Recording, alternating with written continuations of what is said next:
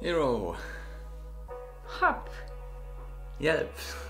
Nej, altså enten så siger vi hero, hop, help. Jeg synes hjælp, det falder... Kan vi ikke sige help? Hero. Hop. Hjælp. Ej, optager du nu? Hej. Bettina og Daniel her fra Augenblik.